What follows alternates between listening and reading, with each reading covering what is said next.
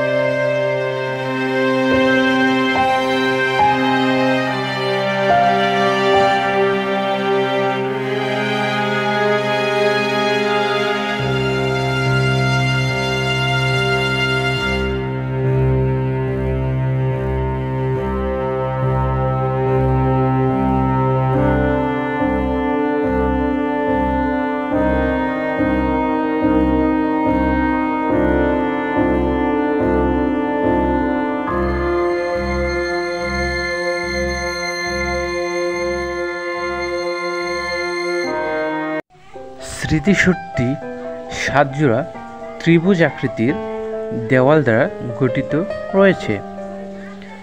দেওয়ালগুলো ছোট থেকে বড় ক্রমানুসারে সাজানো হয়েছে। এই সাতটি দেওয়ালটি মুক্তিযুদ্ধের ষাটটি ধারাবাহিক পর্যায়ক্রমকে নির্দেশ করে। এগুলো হলো এক, উনিশশো সালের ভাষা আন্দোলন দুই, উনিশশো চুয়ান্ন সালের যুক্তফ্রন্ট নির্বাচন। তিন, উনিশশো ছাপ্পান্ন সালের শাসনতন্ত্রের আন্দোলন। চার, উনিশশো বাষট্টি সালের শিক্ষা আন্দোলন। পাঁচ, উনিশশো ছেষট্টি সালের ছয় দফা আন্দোলন। ছয়, উনিশশো উনসত্তর সালের গণ অভ্যন্তর আন্দোলন।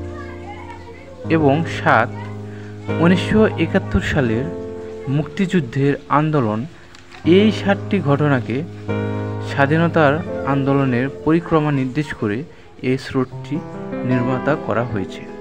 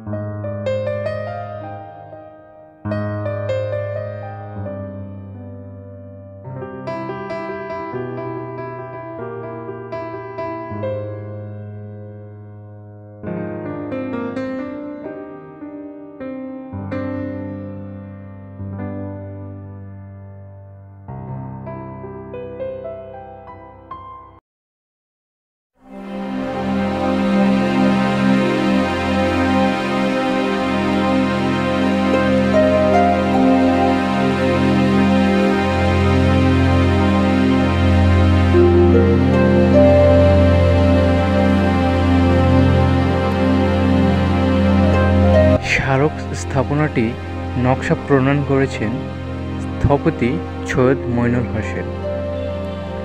বিদেশি রাষ্ট্রমাইকন এই রাষ্ট্রে সফরে আগমন করলে এই স্মৃতিসৌধে শ্রদ্ধা নিবেদন করে থাকেন।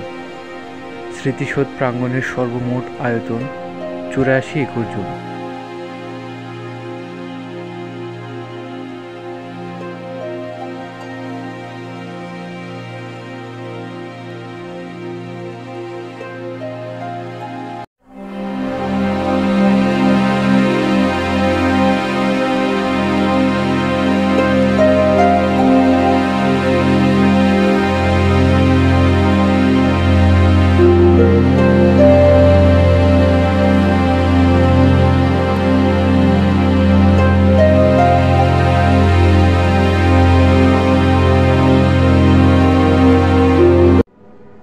স্মৃতিস্তম্ভটি চব্বিশ একর জমিতে সবুজ বৃক্ষতে পরিবেশন করে রয়েছে। স্মৃতিসৌধের উচ্চতা একশো পঞ্চাশ ফুট বা পঁয়তাল্লিশ মিটার।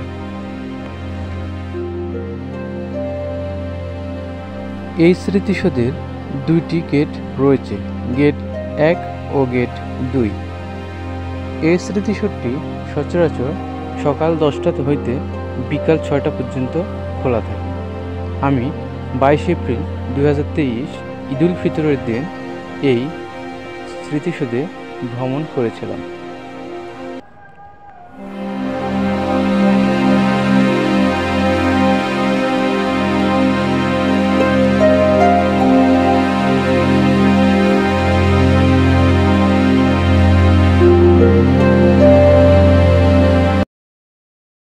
এই স্মৃতিসৌধে শত শত পর্যটক প্রতিনিয়ত ভ্রমণ করে থাকে।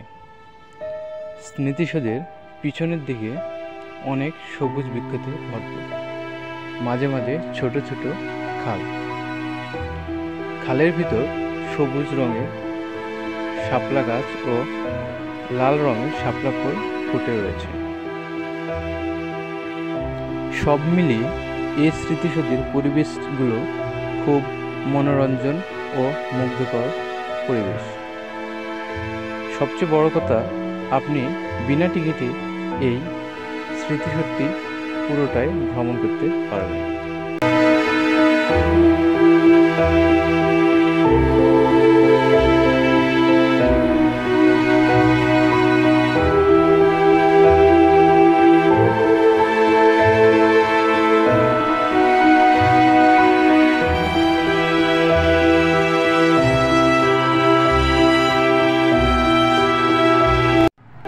হ্যালো ভিওর্স আমি মোহাম্মদ শাহিন আলম। এস এ শাহিন আলম, এই চ্যানেলটি আমার।